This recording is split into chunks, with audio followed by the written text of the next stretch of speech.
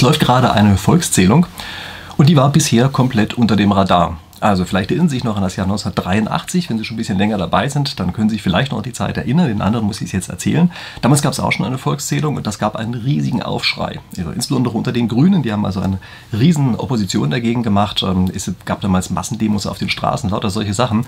Ähm, diesmal haben wir praktisch nichts davon gehört, bis plötzlich, schwupps, die Volkszählung auf einmal da war. Ähm, vorher haben wir nichts davon gehört. Und ich möchte deshalb in diesem Video hier einfach mal so ein paar kleinen Fragen zu diesem Thema nachgehen. Ich möchte nämlich einmal der Frage nachgehen, wie schlimm ist eigentlich eine solche Volkszählung heutzutage? Also sind die Bedenken von damals jetzt eigentlich komplett weg oder sind vielleicht doch noch welche übrig geblieben? Und insbesondere möchte ich der Frage nachgehen, wie können eigentlich die Daten missbraucht werden? Also können sie missbraucht werden? Und wie können sie missbraucht werden? Und da gibt es insbesondere die Vermutung, die könnten vielleicht für einen Lastenausgleich verwendet werden. Und äh, auf den Fall, also auf die Situation oder Frage möchte ich nochmal besonders eingehen. Und dann ist natürlich die Frage, wie gut sind wir eigentlich heutzutage vor diesen ganzen Auswüchsen, die da dran hängen, geschützt. Also, das sind die Dinge, die ich in diesem Video hier machen möchte. Für den Fall, dass Sie hier neu bei mir sind, ich mache jede Woche ein spieltheoretisches Video, also lege Spieltheorie ein bisschen weiter aus. Das sind oft auch irgendwelche Wirtschaftsfragen, Statistikfragen, solche Sachen. Also, falls Sie das interessiert, dann ähm, können Sie gerne bei meinem, äh, bei meinem Kanal hier mit dazukommen, indem Sie einfach mal den Kanal abonnieren und am besten auch gleich die Glocke aktivieren. Und wenn Sie das getan haben, dann springen wir jetzt mal zurück in das Jahr 1983. Und ich blende Ihnen dafür einfach mal zwei Spiegeltitel Titelseiten aus der damaligen Zeit ein. Und wie Sie daran sehen können, ist, das war ein wahnsinniges Thema damals. Also wenn Sie es zweimal tatsächlich schaffen, mit einem Thema auf die Titelseite des Spiegel zu kommen, dann heißt das, es muss schon ein richtiges Thema gewesen sein. Und so 1983 muss man auch wissen, das ist ein Jahr vor dem George Orwell-Jahr. Also viele kennen ja heutzutage dieses, diesen Roman 1984 gar nicht mehr. Aber den kannte man damals sehr wohl, hat natürlich viel darüber gesprochen. Das war sozusagen ein Jahr davor. Und weil das so direkt davor war, hatte man überhaupt Daten als Problem plötzlich erkannt und hat gemerkt, oh je, die können ja auch in irgendeiner Form missbraucht werden. Und das ist eben der Grund dafür, dass es damals so wahnsinnig hochgekocht wurde. Und das war auch ein echter Booster damals für die Grüne Partei. Also die Grünen waren eigentlich diejenigen, die damals am stärksten sich auf die Fahnen geschrieben haben, da müssen wir irgendwas machen und da, dagegen muss man doch irgendwie vorgehen und solche Sachen. Und dann hat es tatsächlich auch, äh, also wurde die Volkszählung erstmal in dem Jahr selber gestoppt, konnte so in der Form, wie sie ursprünglich geplant war, ähm, nicht durchgeführt werden. Ja. Und es gab dann später ein äh, Verfassungsgerichtsurteil 1987 und damals war das Bundesverfassungsgericht noch tatsächlich auf der Seite der Bürger und hat tatsächlich einfach wesentliche Riegel davor geschoben. Also hat äh, auf eine, also mit sehr vielen Vorgaben klargemacht, was eigentlich bei so etwas geht und was nicht geht. Und ähm, das, daran merkt man, äh, dass solche Sachen durchaus was bringen. Ja, dass die Leute damals, weiß ich, plötzlich auf ihren Klingelschildern Schildern nicht mehr ihren Namen stehen hatten, da stand plötzlich Volkszählungsboykott drauf. Ja. Man merkt, solche Sachen Sachen äh, führen dann eben mitunter auch dazu, dass sich tatsächlich irgendetwas ändert. Und es hat sich dann tatsächlich auch dauerhaft etwas geändert, nämlich daraus ist der Datenschutz entstanden, so wie wir ihn heute auch noch kennen. Also der Datenschutz, der im Augenblick umgesetzt worden ist, der ist ja auch im Wesentlichen also ich will nicht sagen von den Grünen, aber von einer Person aus den Grünen maßgeblich mit beeinflusst worden. Das heißt also, das ist schon etwas, was eben äh, damals sich tatsächlich geändert hat und auch dauerhaft geändert hat. Ja, dass dort bestimmte Dinge auf einmal danach anders waren, als sie vorher waren. Und was ist jetzt 19, äh, äh, nicht mehr 1900, sondern 2022, also jetzt, jetzt ist auf einmal die jetzige Volkszählung, die wir haben, komplett unter dem Radar. Und äh, man hört dazu solche lustigen Kommentare. Also wenn man es überhaupt dazu äußert, dann heißt es, wieso, was heißt denn hier unter dem Radar? Das war doch elf Jahre lang angekündigt, stand doch ganz offen auf allen möglichen Internetseiten. Und ja, das stimmt, alle zehn Jahre wird tatsächlich so eine Form äh, von Volkszählung gemacht. Ja, ich komme gleich nochmal darauf zu sprechen, ob der Name überhaupt richtig ist, aber es wird alle zehn Jahre gemacht. Wegen Corona wurde es jetzt ein Jahr verschoben. Und ja, natürlich, es war tatsächlich angekündigt, aber wo war denn eigentlich die Diskussion? Also wir hatten keinerlei Diskussion dazu. Äh, schlimmer noch, auf einmal ist es rechts, diffus rechts, irgendwie ganz nebulös rechts und böse, wenn man überhaupt nur in Frage stellt, dass diese Volkszählung vielleicht irgendwas Tolles sein könnte. Wenn man tatsächlich aber anfängt darüber zu sprechen, also überhaupt nur erwähnt, dass es heutzutage so etwas gibt, dann wird das schon als diffus rechts eingeordnet. Nicht von allen, aber gibt halt diese Bemerkungen. Und was natürlich dann auch als nächstes kommt, ist immer, ja, das ist ja gar keine Volkszählung. also damals, das war eine richtige Volkszählung, das ist ja diesmal nur ein Mikrozensus. Und stimmt natürlich, ja, also tatsächlich ein Mikrozensus, also das heißt, es wird nicht wie damals geplant jeder befragt, sondern ist es so, dass eben tatsächlich einige ausgewählte Haushalte befragt werden, nicht so ganz wenig, also schon eine ganze Reihe, was da tatsächlich befragt wird, aber ja, es sind einige ausgewählte Haushalte und die sind mehr oder weniger zufällig ausgewählt. Also wenn ich jetzt sage mehr oder weniger, da gibt es natürlich auch manchmal Bedenken, ja, wie passiert eigentlich so eine Auswahl, so eine Zufallsauswahl. Das ähm, funktioniert im Prinzip so, dass man versucht, repräsentative, eine repräsentative Stichprobe zusammenzusetzen. Das heißt also, man sagt, bestimmte Merkmale sind in der gesamten Bevölkerung wichtig und sind auf eine bestimmte Art und Weise verteilt. Und genau diese Merkmale wollen wir auch in, dem, in der Stichprobe, die wir erheben, ebenfalls mit abgebildet haben. Und deshalb ist es also, man bricht sozusagen die gesamte Bevölkerung runter in kleinere Gruppen und innerhalb dieser kleineren Gruppen wählt man dann zufällig aus. Und das macht man auch tatsächlich zufällig, äh, weil das aus statistischen Gründen eigentlich das beste Verfahren ist, was man dann haben kann. Ja, würde man da noch auf eine andere Weise eingreifen, würde die Qualität der Daten zurückgehen. Deshalb macht man das tatsächlich zufällig. Und es gibt in diesem Fall auch noch die weitere Besonderheit, dass wohl einige tatsächlich absichtlich mehrfach befragt werden. Also diejenigen, die beim letzten Mal dabei waren, einige von denen werden diesmal absichtlich auch wieder diesmal mit reingenommen, damit man gleichzeitig noch Längsschnittdaten erheben kann. Ja, das ist die Art und Weise, wie die Leute äh, ausgewählt werden. Das ist also die Geschichte mit dem Mikrozensus. Und es wird jetzt immer gesagt, ja, das ist hier gar keine Vollerhebung. Es wird hier gar nicht jeder gefragt, das ist auch keine Volkszählung. Und dann gucken wir doch noch mal ganz ein bisschen genauer hin bei der Sache und stellen auf einmal fest, ups, bei den Immobilien, da werden ja tatsächlich alle erhoben. Also also das heißt, wir haben zwar einmal diesen Mikrozensus und es wird uns immer erzählt, ja genau, das gibt ja nur eine kleine Stichprobe und sowas. Und gleichzeitig ist es aber so, dass eben bei den Immobilien, bei dem Immobilienbestand keine Zufallsauswahl getroffen wird, sondern es werden alle befragt. Alle, samt und sonders, also eine Vollerhebung. Damit hat es genau den Charakter von einer Volkszählung. Heißt natürlich nicht so. Also Mikrozensus klingt natürlich ganz anders und kann man aber als schönes Argument verwenden, dass aber im Windschatten dieses Mikrozensus jetzt eben tatsächlich eine weitere Vollerhebung mitläuft, ist dann schon mal gar nicht mehr mit drin. was werden dafür Sachen gefragt? Ähm, man kann das als harmlos abtun oder auch nicht, aber es wird zum Beispiel danach gefragt, wie viele Zimmer hat denn die Immobilie, wie ist denn die Miete derzeit? Übrigens auch nach Namen der Mieter wird gefragt, obwohl die dann wahrscheinlich einigermaßen früh getrennt werden von den Daten, aber trotzdem werden erstmal mit erhoben. Die Heizungsart wird erhoben. Äh, es wird auch erhoben, ob es einen Leerstand gibt. Also Sie merken, das sind Dinge, bei denen vielleicht der eine oder andere sagen würde, hm, naja, das sind jetzt aber nicht die, die Informationen, die ich so jedem einfach so preisgeben möchte. Und dafür gucken wir uns auch nochmal an, was eigentlich 1983 so los war. Also damals waren die Grünen insbesondere gegen die Volkszählung. Was war damals das Hauptmotiv? Also ein großes Motiv war damals, dass die Grünen zu Recht, wie ich jetzt sagen würde, damals ganz klar die Position vertreten haben, dass sie gesagt haben, mal langsam, die Computertechnik ist vorangeschritten, man kann auf einmal mit Daten viel mehr machen als vorher. Es gibt welche, die gerade an der Macht sind, die wollen diese Daten absaugen und die wollen auf die Art und Weise sozusagen noch mächtiger werden. Also finde ich eine völlig valide Argumentation, die damals getroffen worden ist. Da wurde gesagt, naja, dann sind wir mal lieber ein bisschen vorsichtig und sorgen dafür, dass diejenigen, die gerade am Ruder sind, eben nicht noch stärker äh, sich dort ausbreiten können. Warum gilt dieses Argument 2022 eigentlich auf einmal nicht mehr? Na, gucken wir mal hin, wer gerade regiert, und dann stellen wir fest, ups, das sind ja genau diejenigen, die damals dagegen waren. Das sind ja jetzt selber diejenigen, die an der Macht sind. Das sind ja selber diejenigen, die jetzt davon profitieren, dass sie genau diese Mittel zur Hand haben. Und auf einmal sieht man, gibt es auch keinen so großen Widerstand mehr. Das heißt, Sie können normalerweise durch einfaches Analysieren der Interessenslage, können Sie sofort rauskriegen, ja, was will man denn eigentlich? Und das ist ein ganz typischer Fehler. Also es ist ein ganz typischer Fehler, den wir Menschen immer wieder machen, dass wir uns tatsächlich von der Situation, in der wir gerade sind, verleiten lassen, zu glauben, das, was man gerade an vielleicht auch problematischen Dingen tut, das trifft dann nur die anderen, wenn man gerade selber derjenige ist, der hier in einer Machtposition drin sitzt. Und also ich habe Ihnen ja schon gesagt, das ist ein spieltheoretischer Kanal bei mir, für den Fall, dass Sie mich nicht kennen. Bei der Spieltheorie geht es ja immer darum, dass man sich auch in die andere Seite hineinversetzt, eine gewisse Denktiefe laufen lässt, ja, sagt, was bedeutet das denn eigentlich auf einer absoluteren, allgemeineren Ebene? Und äh, wir lassen uns eben sehr stark beim normalen Denken von der jetzigen Situation verleiten. Wir haben das Gefühl, wenn wir jetzt gerade selber an der Macht sind und das ausnutzen können, dann ist ja gar kein Problem, wenn wir das machen. Und das Problem ist, ist es eben doch ein Problem, weil das kein Dauerzustand ist. Also es kann sehr gut sein, dass es irgendwann mal in andere Hände gerät. Und dann auf einmal wird es eben plötzlich doch zu einem Problem von denjenigen, die bisher gesagt haben, Schultern zucken, naja, kann ja nicht so fürchterlich schlimm sein. Und es gibt da ein spieltheoretisches Konzept, was ich in diesem Zusammenhang für extrem wichtig halte, das nennt sich Veil of Ignorance, also auf Englisch ein Schleier des Unwissens oder sowas. Ja, können wir es am besten auf Deutsch übersetzen, Schleier des Unwissens. Und das ist eine Idee, dass man eine Situation erst beurteilt, bevor man weiß, in welcher Rolle man sich eigentlich befindet. Also man fragt sich erst, findet man Datenschutz zum Beispiel gut oder schlecht, bevor man weiß, ob man derjenige ist, der Zugriff auf die Daten hat oder derjenige ist, der sie zwangsweise abgeben muss. Dann überlegt man sich, was ist denn das allgemeine Prinzip, was man hieraus ableiten kann und welche Position würde man denn vertreten, wenn man jetzt beide Seiten gleichermaßen mit berücksichtigen muss? Und dann trifft man erst seine Entscheidung. Das ist beispielsweise auch ganz wichtig, wenn Gesetze erlassen werden. Viele Gesetze sind eigentlich aus einer Situation heraus entstanden und entstehen aus der Situation, dass eine Gruppe glaubt, sie habe gerade das Sagen und kann damit eben ihre Position durchdrücken.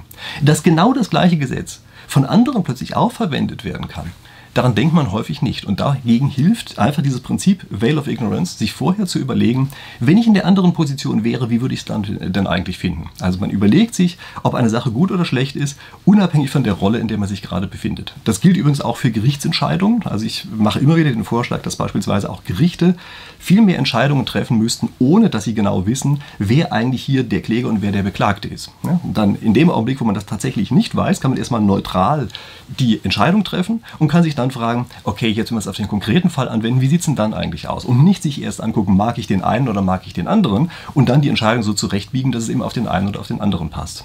Und versuchen wir jetzt einmal ein bisschen neutraler drauf zu gucken auf das, was wir im Augenblick bei, bei Mikrozensung und dieser Immobilienzählung haben. Also, der Datenschutz, den wir heute haben, ist definitiv besser, als er 1983 gewesen wäre oder als er damals war. Das ist gar keine Frage. Der Datenschutz ist heute wesentlich besser und das Verfassungsgericht hat damals, wie gesagt, ja noch im Sinne der Bürger entschieden und es hat einfach sehr viele gegen die damals regierenden Politiker durchgesetzt. Es hat beispielsweise durchgesetzt, dass eben auf einer sehr frühen Phase äh, dieser Erhebung alle personenbezogenen Daten bereits gelöscht werden. Natürlich gibt es sie an irgendeiner Stelle, das müssen wir uns auch bewusst sein. Es gibt sie natürlich an einer Stelle. Natürlich werden dort auch Plausibilitätschecks gemacht und sowas. Also nicht so, dass man einfach ganz anonym irgendwelchen Quatsch dort reinschreiben kann. Ja, das ist es nicht. Aber die Daten werden eben tatsächlich frühzeitig getrennt. Äh, also von den personenbezogenen Daten. Und sie sind auch am Ende, werden sie so aufbereitet, dass man nicht mehr das Problem hat, was auch 1983 bestanden hat, dass man aufgrund der Antworten praktisch genau eine Person zurückverfolgen kann. Also das war damals möglich. Also wenn man andere Informationen zur Verfügung hatte, zum Beispiel von den Meldeämtern, konnte man normalerweise aus den Datensätzen, die es dort gab, in sehr vielen Fällen das tatsächlich komplett auf die einzelne Person zurückverfolgen. Also das praktisch gar nicht anonymisiert war, auch wenn es getrennt worden ist von den individuellen Daten. Und ähm, das ist in, ähm, ja, also bei der heutigen Fassung ebenfalls praktisch so nicht mehr möglich, wird auch äh, so umgesetzt, dass es nicht mehr geht. Und das sind schon erhebliche Fortschritte, die wir hier haben, im Gegensatz zu dem, was früher war. Wir müssen auch wissen, dass es im Augenblick ja noch eine Grundsteuerreform gegeben, also gibt, die gerade läuft sozusagen, wo auch entsprechende Daten erhoben werden. Sie können relativ sicher sein, dass die Daten, die dort erhoben werden, über die Immobilien, dass die viel eher für alle möglichen anderen Sachen verwendet werden können, als das, was im Augenblick bei dieser Volkszählung, die man nicht so nennen darf, eigentlich passiert. Also dessen müssen wir uns erstmal hm, bewusst sein, dass also tatsächlich gute Sachen umgesetzt worden sind. Wir müssen aber gleichzeitig uns äh, bewusst sein, dass es natürlich einen Datenreichtum gibt. Ja, so nennt man das immer, wenn an einer Stelle viele Daten aggregiert gesammelt sind. Das gibt es erstmal und zu irgendeiner Stelle sind die auch noch verbunden, sogar mit den individuellen Informationen. Und es gibt natürlich auch Gewöhnungseffekte. Und solche Rechte, die wir hier gerade haben und die ich für sehr sinnvoll halte, also ich halte nicht die gesamte Umsetzung des, äh, des Datenschutzes im Augenblick für sinnvoll, ja, aber dass wir einen Datenschutz haben, das halte ich sehr, für sehr sinnvoll. Und dass wir ihn haben, ist kein Selbstläufer, sondern das ist etwas, was wir individuell verteidigen müssen, was wir regelmäßig verteidigen müssen. Und wir müssen regelmäßig, indem wir offen darüber diskutieren, uns jedes Mal wieder bewusst sein, dass das wichtig ist. Und wir müssen dann eben auch dafür sorgen, dass es tatsächlich auch jedes Mal wieder umgesetzt wird und tatsächlich nicht durch die Hintertür abgeschafft wird, der, der Datenschutz, ohne dass wir es so ganz richtig gemerkt haben. Und seien wir mal ehrlich, wie genau können wir denn im Augenblick eigentlich wissen, was alles äh, bei den Statistikämtern dazu gemacht wird? Also es ist nicht leicht unmittelbar herauszufinden. Ich gehe mal davon aus, dass sie es tatsächlich korrekt machen, also spricht wirklich sehr viel dafür, dass sie es korrekt machen, aber es wäre mir wesentlich lieber gewesen, wenn wir das öffentlich diskutiert hätten und wir uns viel sicherer sein könnten, dass es auch tatsächlich an keiner Stelle irgendeine krumme Sache läuft. Und wir müssen hier auch für meine Begriffe uns klar machen, dass eigentlich die Medien kläglich gescheitert sind, kläglich versagt haben. Die schreiben am Augenblick im Wesentlichen irgendwelche PR-Mitteilungen ab und in dem Augenblick, wo sie dann die Information kriegen, ah, jetzt läuft gerade der Zensus mit einem bestimmten Stichtag, dann sagen sie alle, ah ja genau, da läuft gerade der Zensus. Aber vorher hat es kein Mensch diskutiert. Und das kann nicht sein. Es kann nicht sein, dass auch gerade der öffentlich-rechtliche Rundfunk das einfach elf Jahre lang halt völlig ignoriert und sagt, nur ist ja nicht so wichtig und dann am Ende übrigens sind verpflichtet, irgendeinen Fragebogen auszufüllen. Das kann nicht sein. Auf diese Art und Weise ist es einfach eine unglaubliche Gefahr, dass wir genau die Rechte, die wir sozusagen schwer erkämpft haben in den 80er Jahren, dass wir die auf die Art und Weise durch die Hintertür wieder loswerden. Und jetzt gibt es einige Gruppen, die sind sehr, sehr misstrauisch der Situation gegenüber, der wir gerade sind. Also die Fragen, die ich Ihnen vorhin vom Grundsatz her zumindest genannt habe, da gibt es einige, die sagen, das kann nichts Gutes bedeuten, dass diese Fragen gestellt werden. Warum eigentlich ist dieses Misstrauen da? Also insbesondere unter dem Immobilienbesitzer natürlich ist das so. Naja, gucken Sie sich das mal an. Also wir hatten irgendwann mal die deutsche Wiedervereinigung, die sehr viel gekostet hat. Wir hatten eine Finanzkrise. Wir hatten eine Euro-Krise, wir hatten eine Corona-Krise und wir haben jetzt eine Ukraine-Krise. Und jedes einzelne Mal haben alle gleichartig reagiert. Es wurden die Kreditschleusen geöffnet ohne Ende. Also wurden Kredite aufgenommen, dass man sich überhaupt gar nicht mehr vorstellen kann. Jeder hat gesagt, hey, ist ja eine Sondersituation, müssen wie die wilden Kredit aufnehmen. Wir kennen die Geschichte von der EZB, dass die praktisch sämtliche Stabilitätsregeln einfach verletzen, dauerhaft verletzen. Ähm, die Schuldenbremse, die ja vom Prinzip her eigentlich nur weiterhin existiert, wird abermals von der EU-Kommission gerade ausgesetzt. Die sagen, naja, okay, im letzten Jahr war sie ausgesetzt wegen Corona, jetzt müssen wir es leider noch einmal aussetzen. Äh, in diesem Fall halt wegen der Ukraine.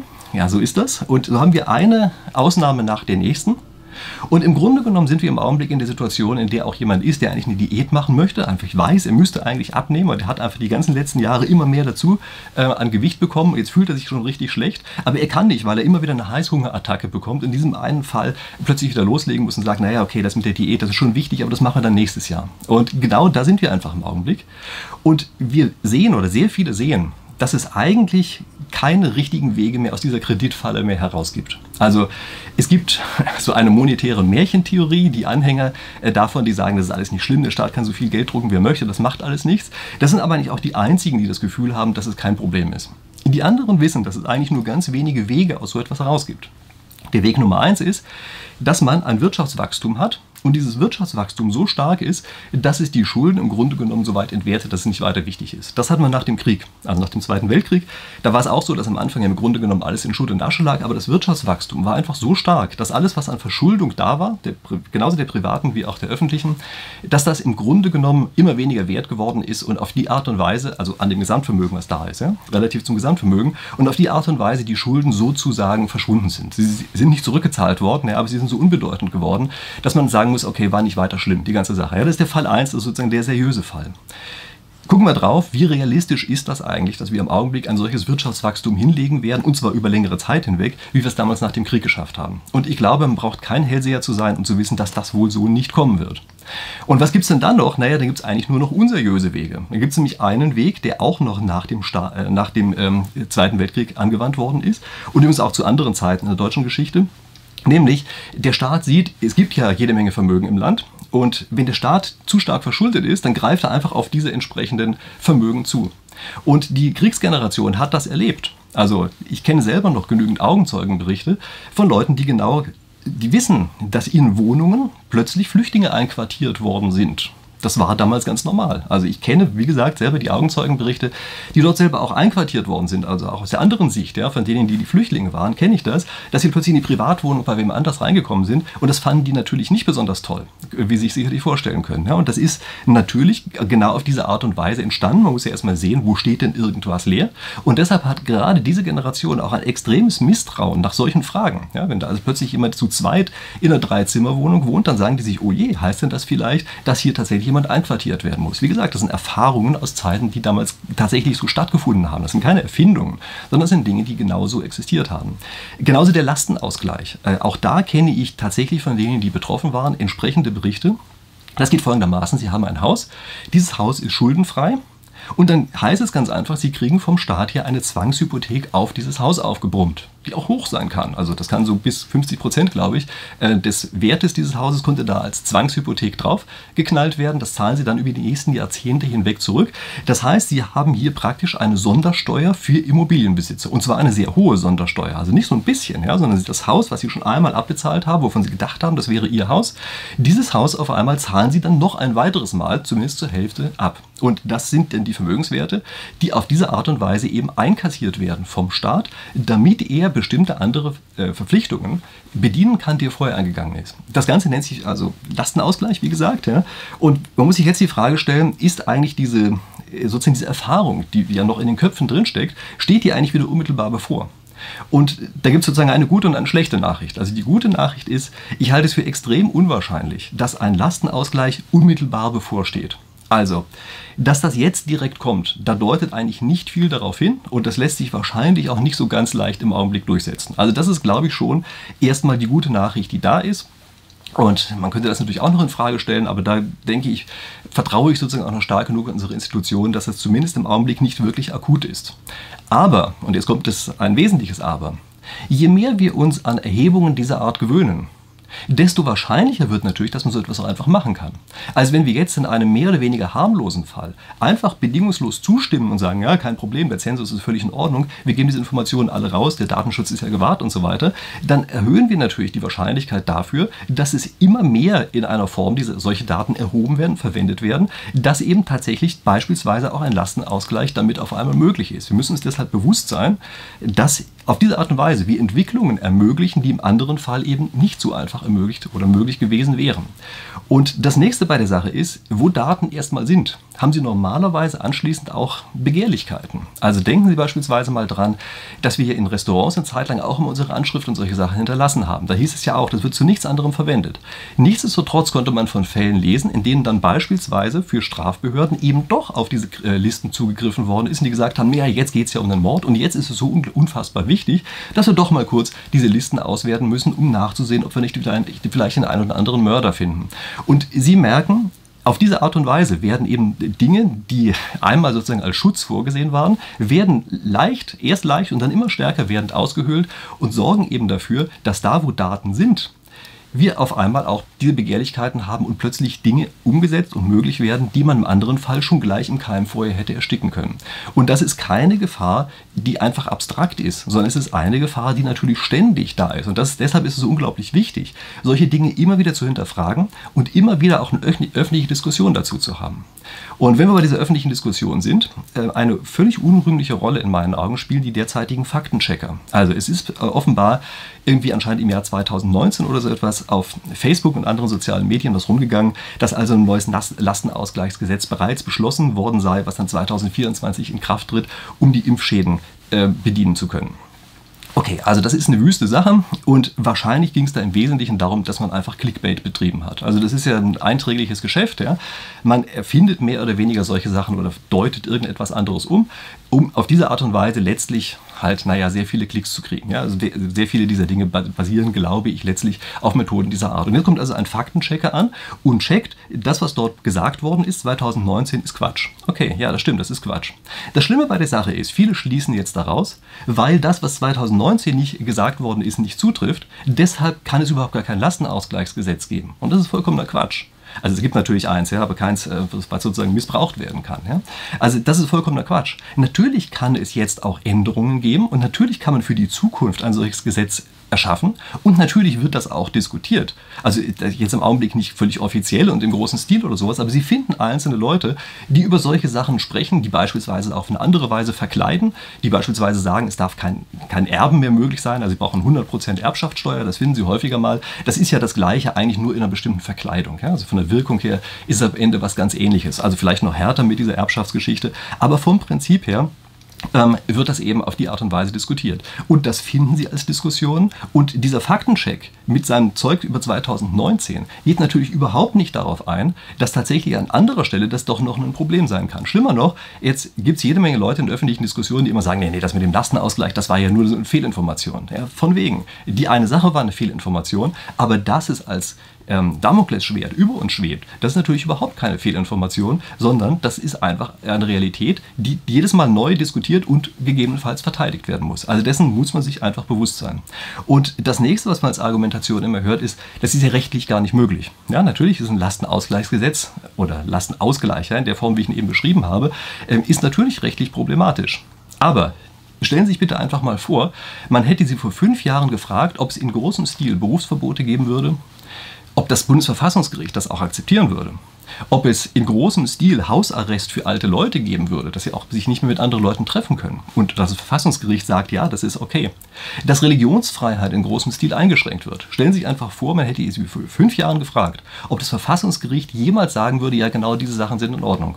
Und Sie wissen natürlich genau, worauf ich anspiele und ich möchte das nicht werten. Ich möchte einfach nur sagen, dass etwas, was man zu einem bestimmten Zeitpunkt für völlig unmöglich hält, fünf Jahre später schon völlig obsolet sein kann. Und das Verfassungsgericht im Jahr 1900, äh, immer wieder sage ich 1900, aber ich meine 2022, ist natürlich ein ganz anderes Verfassungsgericht, als es jetzt wirklich 1983 gewesen ist oder 87, als dann dieses Urteil gesprochen hat. Ja, das damalige Verfassungsgericht hat einfach komplett andere Entscheidungen getroffen hat, viel stärker für meine Begriffe im Sinne der Bürger ähm, damals Recht gesprochen, als es heute der Fall ist, wo das Verfassungsgericht sich also fast schon ein bisschen als Erfüllungsgehilfe der Politik sieht, warum auch immer äh, tatsächlich so etwas entstanden ist. Ja? Okay, ich möchte an dieser Stelle auf eine Sache noch mal ganz kurz eingehen, nämlich die Sache mit dem Lastenausgleich und so etwas. Das hängt ja mit dem Geldsystem zusammen. Und ich kann mir an dieser Stelle immer nicht verkneifen, zumindest darauf hinzuweisen, dass es neben der Geldkonstruktion, die wir im Augenblick haben, auch noch andere Geldkonstruktionen geben kann. Und so zum Beispiel die äh, Konzeption des Digni-Gelds. Also das ist ein Buch, was ich geschrieben habe, Titel eines Buches. Ja, Digni-Geld heißt das Ganze. Ähm, mir wird immer gesagt, zufällig liegen die Sachen bei mir auf dem Schreibtisch und warum. Das liegt jetzt zufällig nicht rum, aber steht hinter mir. Natürlich auch ganz zufällig. Also hier, ja, das ist das Buch Digni-Geld. Da gehe ich auf Geldkonstruktionen ein und dieses Digni-Geld, das ist eine Geldkonstruktion, die anders ist als das, was wir im Augenblick kennen und bei der sozusagen der Gegenwert des gesamten Vermögens in das Geld eingebaut ist. Das heißt also, da brauchte man oder könnte auch gar nicht so eine Art von, äh, von, von dieser Art von Enteignung machen, weil das ja sowieso schon jeweils ins Geld eingebaut ist. Also da brauchte man sozusagen nicht mehr auf eine andere Weise auf das entsprechende Vermögen zuzugreifen, sondern alles, was es an Kapital ist, ist sozusagen der, die Basis dieses Geldes. Das ist ein bisschen die Grundidee von diesem Digni-Geld.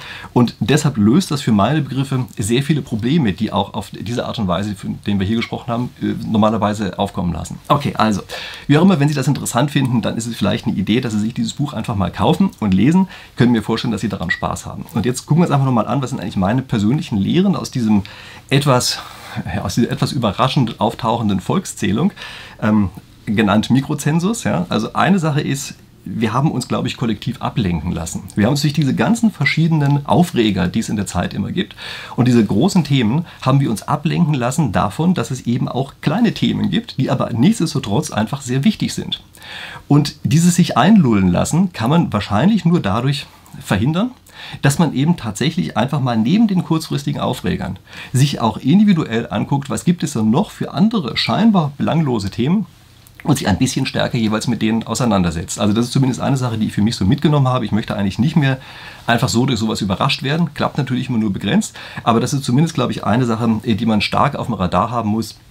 Insbesondere deshalb, weil die andere Seite strategischer denkt. Also es gibt natürlich Leute, die haben solche Sachen sozusagen in der Planung oder im Zeithorizont ihrer Planung mit drin und wenn wir uns immer nur kurzfristig von sozusagen Woche zu Woche hangeln und die anderen in Jahren denken, dann können die natürlich solche strategischen Entscheidungen voranbringen und wir hecheln sozusagen immer nur hinterher. Also deshalb muss man eigentlich seinen eigenen Zeithorizont auch erweitern auf eine längere strategische Zeit und sich dann ansehen, was gibt es denn da an kleineren Themen, die vielleicht trotzdem wichtig sein können. Und das nächste ist ein Ratschlag, den ich eigentlich also versuche selber für mich zu befolgen und auch nur allen anderen immer geben kann. Das ist dieser Veil of Ignorance, Schleier des, der Unwissenheit. Und wenn man eine Situation sieht, neigt man normalerweise dazu, dass man sofort auf eine bestimmte Meinung draufspringt und das Gefühl hat, ja, das, das ist die richtige Meinung, das passt so. Ja? Und dann ist man sozusagen gefühlsmäßig auf diese eine Meinung. Und normalerweise passiert das dadurch, dass man selber ein Interesse daran hat, dass diese Meinung richtig ist und man merkt es meistens gar nicht, dass es so ist. Also man fällt sozusagen auf die eigene Interessenslage herein. Und deshalb, wenn man tatsächlich abstrakt rauskriegen möchte, ist etwas eigentlich eher korrekt oder eher nicht so korrekt, dann ist der für meine Begriffe beste Weg, den man hier machen kann, dass man eben tatsächlich sich einfach einmal fragt, wenn ich nicht weiß, in welcher Rolle ich sein werde, wollte ich dann eigentlich diese Art von Gesellschaft zum Beispiel oder diese Art von Regelung oder diese Art von, äh, äh, von Richterentscheidung oder wollte ich eine andere haben? Ja? Wie gesagt, bevor man weiß, in welcher Rolle man drin ist und danach erst guckt man sich an, ähm, wie kann ich jetzt selber eigentlich in der Rolle, in der ich bin, mit diesem entsprechenden Gesetz, dieser Entscheidung und so weiter umgehen. Das sind aber zwei unterschiedliche Sachen und ich denke, es ist wichtig, sich für die Neutralität vorher das einmal zu überlegen. Okay, wenn Sie das häufiger mal erleben wollen, also ich versuche das häufiger anzuwenden, auch wenn ich es nicht deutlich ausspreche manchmal, ja, aber ich versuche es tatsächlich anzuwenden, ähm, dann abonnieren Sie gerne meinen Kanal. Ja? Also ich mache, wie gesagt, solche Sachen hier. Das gelingt auch mir natürlich nicht immer 100 Prozent, aber zumindest ist es häufig ein Konzept und deshalb ist es auch so, dass Sie manchmal bei mir natürlich eine kleine Dusche abkriegen, äh, weil Sie denken, das eine muss doch richtig sein. Wie kommt denn das jetzt, dass er das auch in der anderen Richtung argumentiert und dann vielleicht auch mehrfach hin und her argumentiert? Mache ich häufiger mal. Also wie gesagt, wenn Sie sich darauf einlassen wollen, dann freue ich mich, wenn Sie es abonnieren und hier eben regelmäßig mit dabei sind. Sie können übrigens auch auf Twitter folgen. Das sind auch häufig Diskussionen, die ich auf Twitter äh, aufgreife, fortführe, manchmal auch von Twitter aufgreife. Also das hier war tatsächlich auch eine Sache, die auf Twitter jetzt letzte Woche diskutiert wurde, die ich jetzt hier in dem Video nochmal aufgreife. Also wie gesagt, Link ist in der Videobeschreibung, genauso auch die ähm, ist in der Videobeschreibung der Link zu dem Buch Digni-Geld, vielleicht wollen Sie das ja auch haben. Und ansonsten freue ich mich, wenn Sie jetzt inzwischen meinen Kanal abonniert haben und wir uns dann hier in aller Frische in der nächsten Woche wiedersehen. Bis dahin.